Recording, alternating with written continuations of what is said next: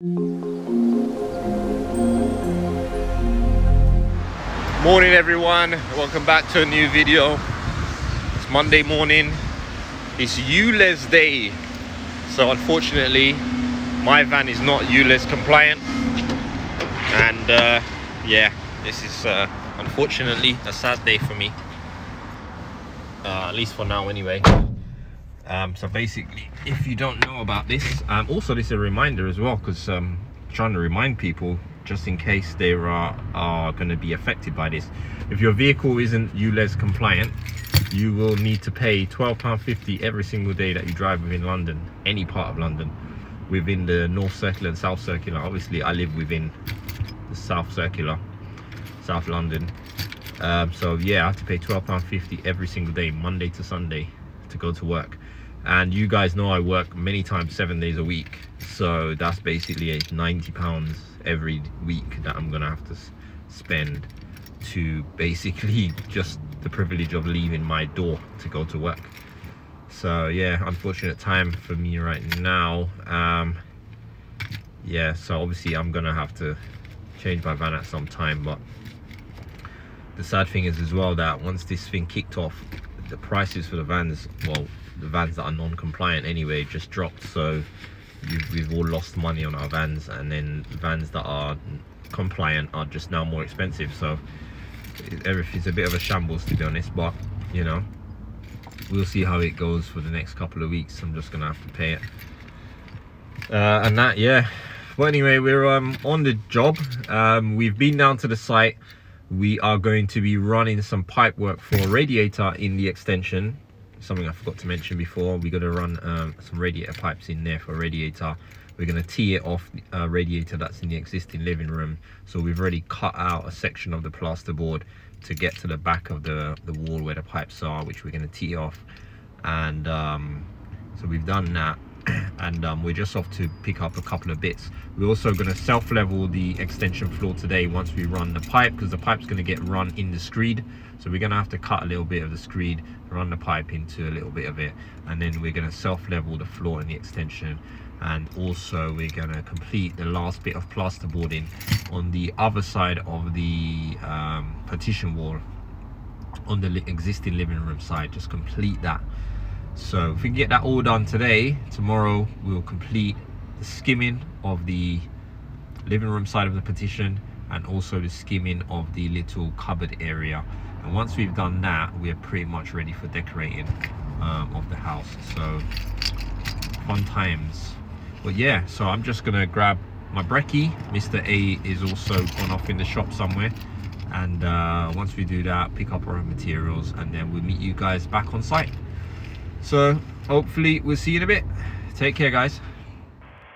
All right guys so first things we're gonna bore this hole from um, the, this living room side through to the uh, extension side so we can get the um, pipes to the back. So we're going to be using flexible barrier pipe the gray one and uh, just a lot easier to work with what we're trying to do here.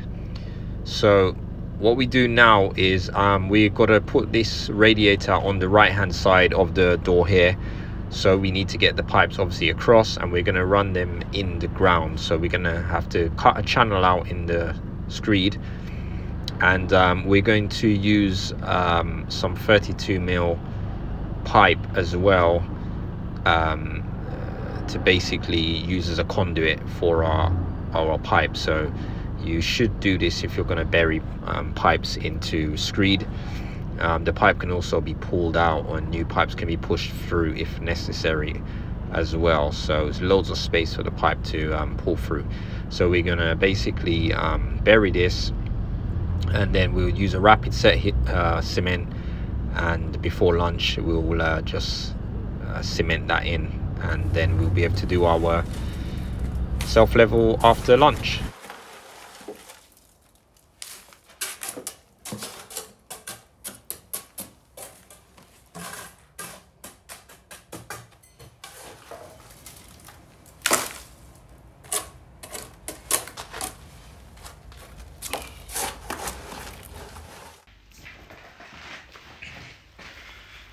So our pipes are buried. We use a, quick dry cement and we just uh, buried them in there. Now we're just gonna prime the floor with some SBR and then let it dry. Then we're gonna self level.